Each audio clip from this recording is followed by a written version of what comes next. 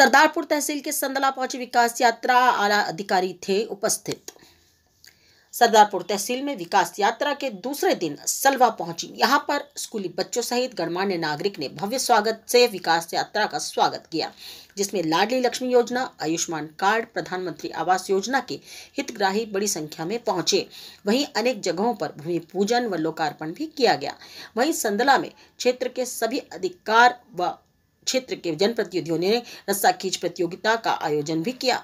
स्वास्थ्य परीक्षण शिविर का आयोजन भी किया गया। इस दौरान जनपद पंचायत उपाध्यक्ष प्रतिनिधि राजेंद्र सिंह राठौर सरदारपुर एसडीएम राहुल सिंह चौहान, तहसीलदार दिनेश सोनरतिया, नायब तहसीलदार रवि शर्मा, वरिष्ठ डॉक्टर नितिन जोशी सहित सभी विभागों के वरिष्ठ अधिकारी भी मौजूद थे। सभी जगहों पर कार्यक्रम का संचालन शिक्षक अश्विनी दीक्षित ने किया। इस दौरान बड़ी संख्या में ग्रामीण उपस्थित थे।